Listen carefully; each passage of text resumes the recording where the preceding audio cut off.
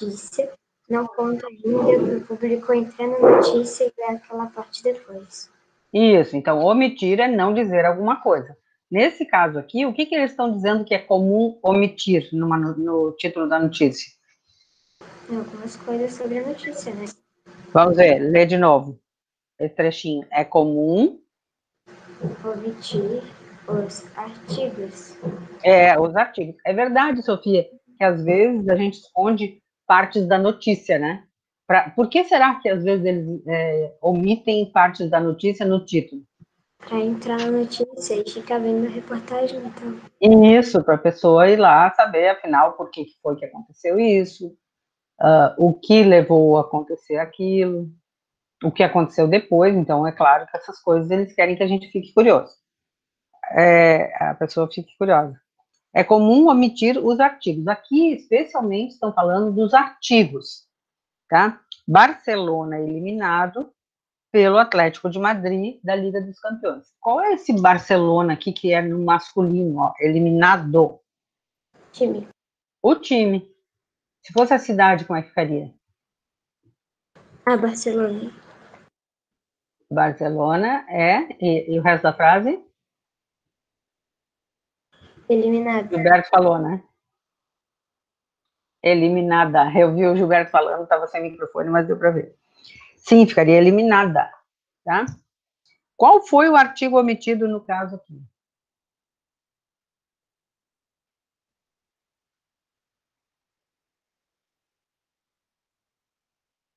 O, o muito bem, Gilberto. O artigo o antes de quê? Barcelona. O antes de Barcelona. Tá? Giovanni?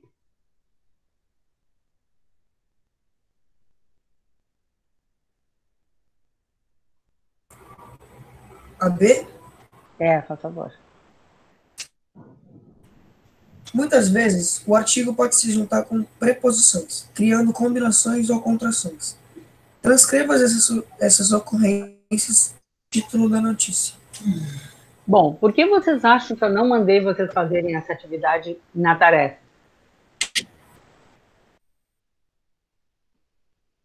Porque a gente não estudou isso? Isso, muito bem, Luísa, porque a gente não estudou isso aqui, né? Essa juntar com preposição. Só que nós vamos poder fazer juntos, porque nós vamos fazer o seguinte: é, falta o artigo do Barcelona. E qual é o artigo do O Atlético de Madrid? O. Onde é que ele está aí nessa frase? Junto com o pelo. Junto com o pelo, né? Seria, é eliminado, quem é eliminado? É eliminado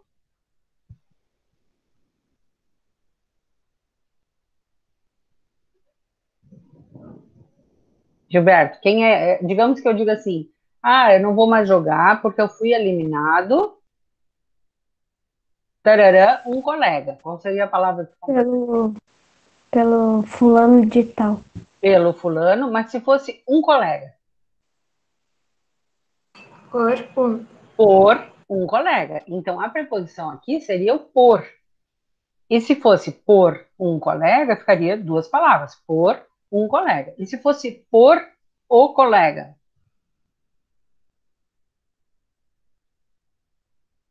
Tem que ser o nome de uma pessoa Isso. específica. O nome de uma pessoa. Digamos que fosse o Frederico. Como é que ficaria a frase? Eu fui eliminado. Pelo Frederico. Pelo, Frederico. pelo Frederico. Então, a preposição por, juntando com o artigo o, eu fui eliminado por alguém. E esse alguém é o Frederico. Então, juntando essas duas coisas, fica pelo. Você vê aí, ó. Tá?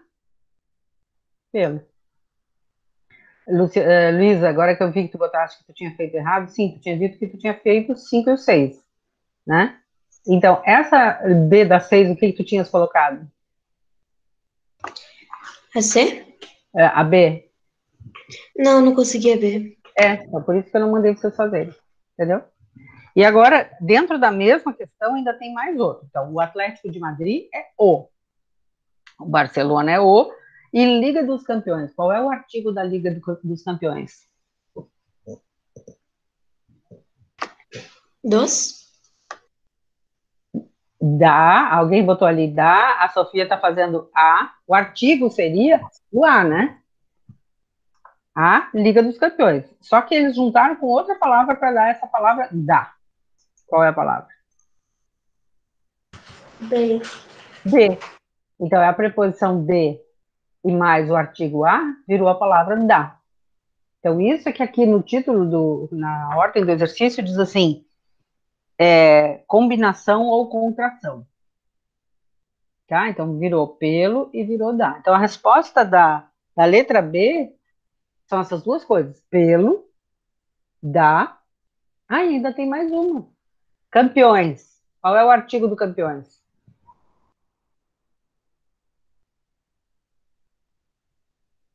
Dos? Os. Dos é a contração. Uhum. Os o, né, se fosse o campeão, e os, se fosse campeões. Com o que, que ele se juntou? D de novo. D de novo. Tá? Então, a resposta da C vai ser pelo, que é por mais por mais o. Deixa eu fazer um jeito aqui para separar. Pelo, da, que é D mais A, e dos, que é D mais os. Aqui é a resposta da letra B. Anotou, Maria? Anotou, João? Pedro, anotou? Sim. Sim? Marina chegou, né? Anotei. Tá. Só falta. Não, não falta ninguém. Gabriela também chegou. Samuel não chegou? Samuel falta. E Ana, claro. Ana. Isso. Tá. Então, quando acontece isso, olhem essas três palavras que eu anotei aqui no chat: pelo, da e dos. Quando eu juntei essas duas palavras, por mais ou, Alguma delas mudou o som? Façam assim com a cabeça. Se sim ou se não. Travou, prof. Muda. Hum. Travou o meu? Tá. Sim, né? Aconteceu uma mudança de som. Essa mudança de som, quando acontece, a gente vai chamar isso de contração. Tá? Quando acontece uma mudança fonética. Então, você já sabe o que quer dizer fonética, né? Tá? Uma alteração no som. Opa, escrevi sim. Uma alteração no som. Se fosse uma combinação, não aconteceria essa mudança fonética. Ficaria, por exemplo, A mais O por exemplo, vou ao parque. Ao. É, aconteceria uma combinação.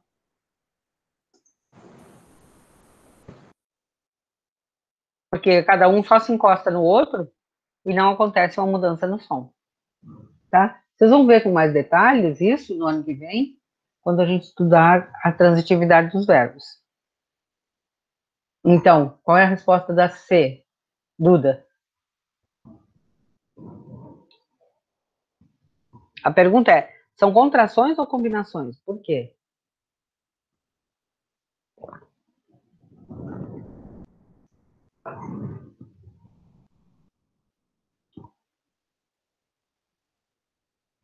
Duda? Eu? É, isso. A C? A C.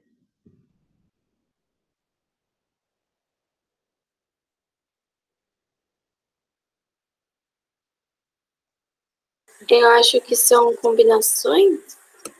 Combinação é quando não tem nenhuma perda de fonema, nenhuma alteração no som. Ah, então são contrações. Contrações. Vai, Gilberto, por quê? Porque eles alteraram o som da palavra. Alteraram? Porque o quê? Aham. Vai, da... Sofia? Desculpa, Gilberto, pode continuar. É que falhou no meu aqui. Pode completar tudo. Não, pode Sofia. Eu já falei o meu. Falou, né? É. Sofia? Eu botei corações porque contém mudança fonética. Tá. Todo mundo conseguiu fazer a C? Então, deixem para fazer de novo a 5 a 6. Quem já fez a 5 a 6, fica tranquilo. Essa parte aí da tarefa já está feita. Tá? Pode marcar como flechinha verde. Feita. Quem não fez, tem a chance de fazer e não ficar com outro triângulozinho ali é, no meu caderno. Tá? Já volto, prof. Tá. É, agora, eu, eu botei ali na folha também, dessa semana, que nós vamos escolher, ou que vocês vão escolher. Ô, prof, também. É. É, contrações é que tem mudança de fonema, né? Que Isso. uma- altera a palavra. Isso. Tá? Muda um pouquinho o som de alguma das duas lados, de algum dos dois lados. Normalmente no lado da preposição. Tá? E daí na folha, ó, vou ler para vocês. Na folha eu botei assim: que tal escolher um dos textos sobre mudança de planos produzidos por algum de vocês para fazer uma performance teatral? É o que vamos combinar na terça-feira. Se você estiver atrasado para elaborar esse texto, ouça os de alguns colegas, inspire-se e escreva o seu. Não perca a oportunidade de criar essa história e de mostrar para a turma, mas se você preferir, pode escrever e não ler em aula dessa vez. Então, quem não me mandou o texto ainda, deixa eu ver quem não mandou. Ah, tá. Não, eu só anotei aqui quem leu em aula, né? Quem não me mandou tem a chance de mandar essa semana, última. Eu não, prof, eu não te mandei, mas eu tinha lido na outra Quem aula. tinha lido aqui já li o nome agora, não precisa me mandar. Eu preciso Ah, tá, saber. Alguém vai querer ler o texto hoje? Que não leu ainda? Mas quem leu não precisa mandar, né? Quem leu não precisa. Quem eu já ó, falei aqui, quem leu em voz alta na aula passada, Ana Paula, Gilberto, Maria Clara, Maria Eduarda e Vitória. A Gabriela vai ler agora, Tá bom. tá? Uma viagem de um jeito diferente. Tá, falei. Tem que. Tá, Falei, mas liga o teu, liga o teu microfone, o teu, tua câmera. Depois da, da das histórias, tu pode falar pra gente os trabalhos que estão faltando? Mas não todos, né? Assim, eu vou falar de algum, deixa eu ver, o da Geraldine. Mas eu já mandei isso pela Cintia. Mandou? Não chegou Uhum. Então, é porque não tá faltando nada. Entendeu? A Cintia mandou para as casas de quem tava faltando alguma coisa. Vai, Gabriela.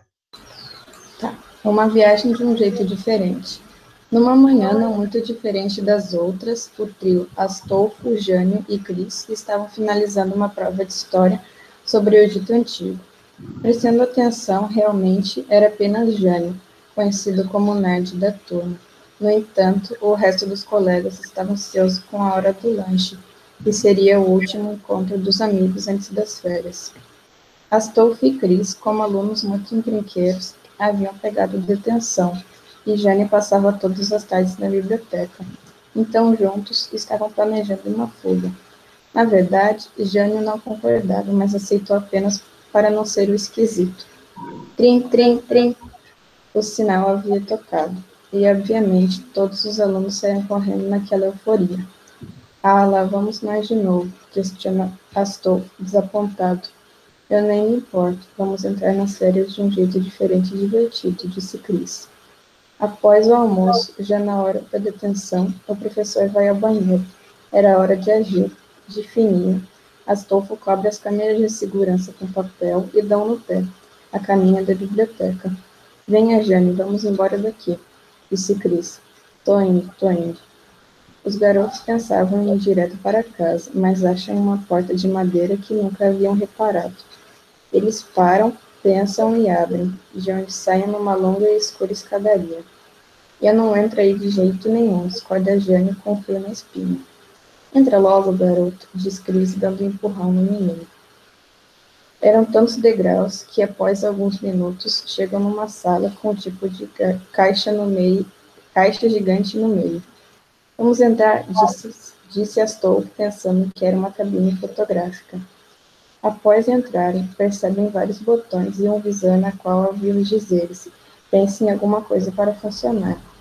Então eles apertam no botão e pensam na prova de história sobre o Egito Antigo. De repente, a caixa começa a se mexer sem parar. Houve um baque, eles abrem a porta da cabine fotográfica, se deparam com um imenso palácio no meio do deserto. Como isso aconteceu? Impossível, se estou completamente confuso. Não sei como chegamos aqui, mas já li em alguns livros de ficção que só tem um jeito, numa máquina do tempo, diz Jane. Bem, vamos entrar, se Cris muito calmo.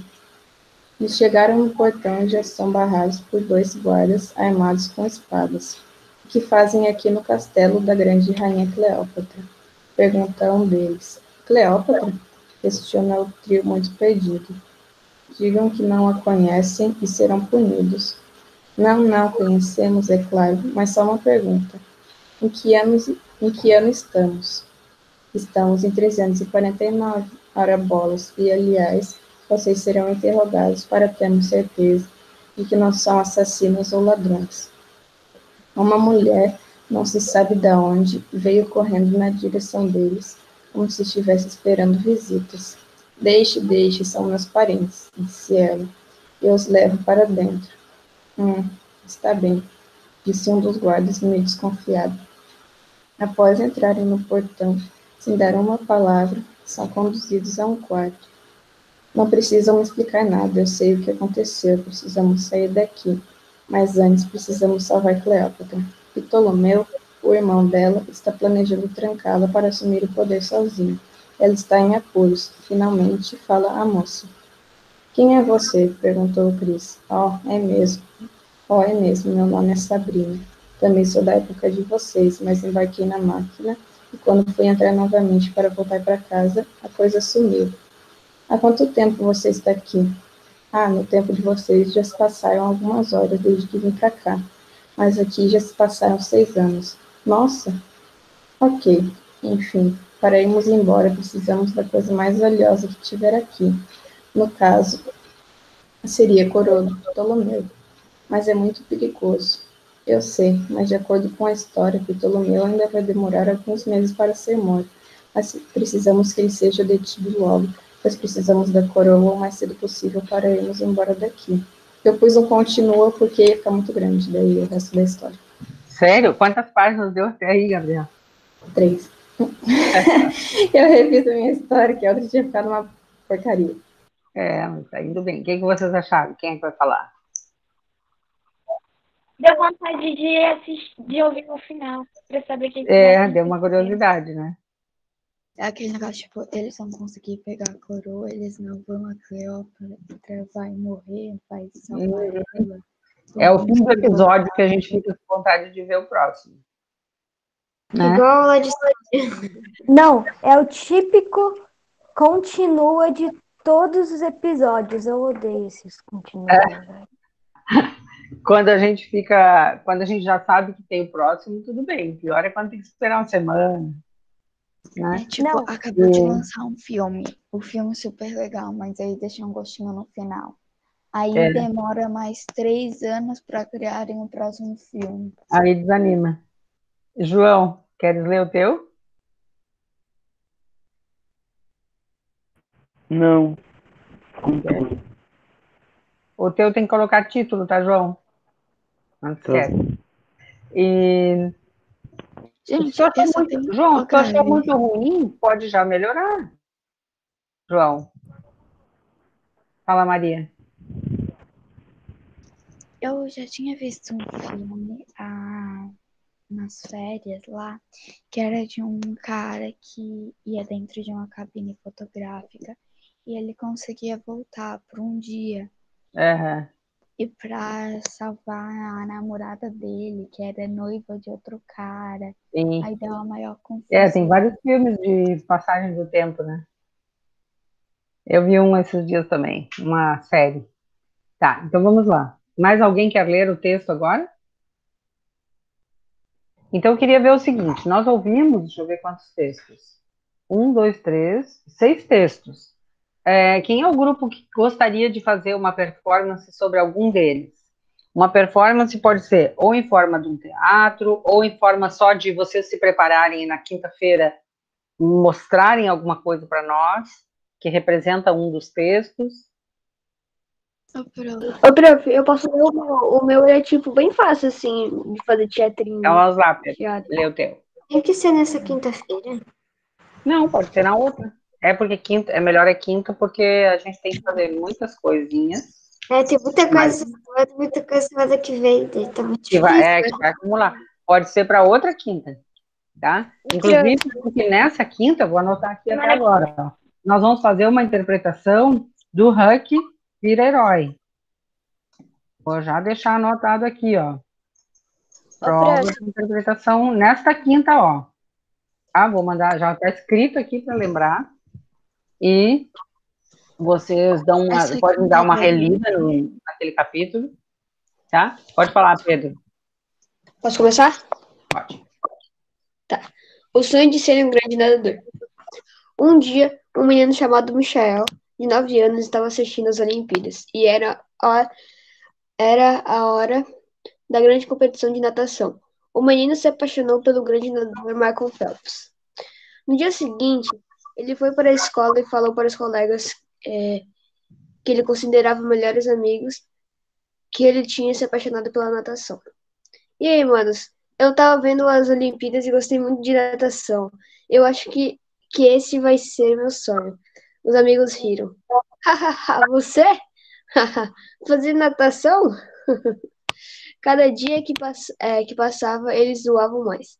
Até que Michel, hum, até que Michel não deu ouvidos para os amigos e perguntou para a mãe: Mãe, eu posso fazer aula de natação? Claro, filho. Onze anos depois, hoje é o grande dia o dia em que eu realizo meu sonho. No fim das contas, ele virou o melhor do mundo em natação e ele nunca mais viu os, os antigos amigos dele. É, não. Tem uns que é melhor não ver mesmo, né? E tu escolheste por gosto o nome Michael, porque o nome do Phelps também é Michael, né? É, porque é o único nome que veio na minha cabeça, assim. Aham. E aí, quem é que vai avaliar? Bem boa. Boa, gostou também? Inspiradora. Falou muito rápido. É, ele leu rápido porque ele Eu sabe tá pensava né? que eu pensava que no final os amigos dele iam ir lá pedir desculpa pra ele, mas eu gostei que ele simplesmente falou assim: "Vou sair todo mundo de perto de mim". É, às vezes a gente nem precisa que a pessoa peça desculpa, né? Olha só, vou anotar duas coisas aqui. No dia 20 de 8, prova do Huck Vira Herói. E no dia 27 de 8, então, essa performance, que pode ser em forma de teatro. Vou botar performance. Prof, tem um calendário que fica aqui bem na frente de mim. Dia 20 tem prova do Huck, 21 espanhol, dia 27 Matemática. matemática, 28 história e geografia 31. Isso. Aqui a Natália está pensando, esse calendário assim fica ótimo, Maria. É muito bom mesmo, porque daí a pessoa está sempre com aquilo ali, não tem como se perder, né? A prova vai ser com consulta, tá? Mas o melhor é ler antes. Também eu vou colocar nessa prova questões com aqueles, com as pessoas do discurso, daquela folha 41. 41, eu acho, né? Tá, você sabe. Então vão poder consultar, olhar na folha. Tá? Não E também, prof, Oi, Gilberto? É bom ler o livro para saber onde estão, as, tipo, onde que tá aquela, que- a questão daquela página, mas você não se lembra. Se você não É, livro, claro. não vai saber. Também. Não é que a pessoa vai ler pela primeira vez ali durante a prova, mas ela pode, porque você não precisa saber detalhes, decor, tá? Então, A usar a tem- folha das pessoas do discurso, vou botar aqui, pode consultar, né? Então tem que ter a folha na mão, não é na hora que vocês vão procurar onde é que ela anda. E o livro, tá? Tudo isso dia 20. Prof, A performance sobre os textos vai ser individual ou vai ser em grupo? Não, o legal era vocês combinarem numa dupla, num grupo, fazer alguma coisa que tenha que lembrar um pouco do, do. Ó, se vocês não lembrarem exatamente tudo do texto do colega, não tem importância, porque a performance vai ser inspirada naquela. Vai durar segundos, tá? Não é uma coisa comprida. Tá? Então vocês vão fazer uma coisa que se inspirou naquilo. Pode ser uma dança, pode ser um teatro. Combinado? Porque É tá bem- pegar só uma parte, então, do negócio? É, no caso, se fosse teu texto, teria que ser. Todo mundo tem que fazer. Não, nem todo mundo. Quem quiser fazer, tá? É uma atividade extra. Tá? E vai durar muito pouquinho tempo, não vai durar uma aula inteira. Tá? Uma coisa que vocês vão fazer que é tipo um relâmpago, assim. Tchá, tchum, aconteceu. Combinado? Tá? Como assim? Não entendi o que é fazer. Quem é que pode explicar? Vai, Sofia. É, as histórias que a gente fez sobre mudar de ideia, baseado no Tom Sawyer, a gente vai ter que fazer uma apresentação teatral de, sei lá, 10, 20 segundos. Não precisa ser 10, 20 segundos, só a gente É, fala. uma coisa rápida. Uma coisa rápida é mostrando a história ali e fazendo uma apresentaçãozinha. Daí a gente tem que criar um grupo e escolher a história de alguém. Isso. Quem preferir fazer sozinho, só mostrar uma cena, ou pode, tá? Pode até ser da sua própria história, para participar também. Tá? Dia 28 a gente apresenta. Mas não vai ser só isso na aula, não vai ser um teatro de meia hora. Não, vai ser uma coisa bem rápida. Não vai ser como do dia do Tom Sawyer, que foi um pouco mais demorado. Tá? Mas no fim do livro do Tom Sawyer, talvez a gente faça outro.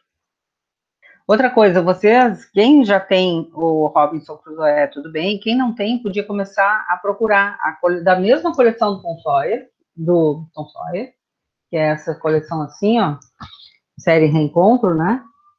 Vocês vão tentando conseguir. É, um jeito é perguntar lá na Simone da escola, que eu acho que tem, até vou perguntar também, que eu acho que tem lá na escola para vender usado. Fala, Maria Clara. É, tipo, eu já. Eu gostei muito do Robson Crusoe e do Tom Sawyer, né? Hum. sabe algum tipo, algum título de livro bem parecido com, tipo, esse Sim, negócio tem. do Tom Sawyer? Maria, ali na escola, tu pode, não sei se tu tem ido também na biblioteca, é, tu podes pegar, da mesma coleção, tem é, as aventuras de, oh meu Deus, de Gulliver. Ah, as aventuras de Gulliver, é, Gulliver. Que Tem dia lá. tu pode ir na escola pegar livro? Se eu não me engano, agora pode ir todas as tardes, mas é melhor dar uma ligadinha Tem pra lá. marcar horário. É, tem que marcar horário. Pode ser por telefone ou pelo por WhatsApp, né? Tá bom? Eu vou ter que ir porque eu tenho aula com o sétimo agora. Então, deixo beijinhos. Tchau, prof. Tchau. E é, quem não fez aquela tarefa Tchau, do, Araribá, faço para quinta-feira e nós vamos corrigir. Tá? Tchau. E, e tragam o livro.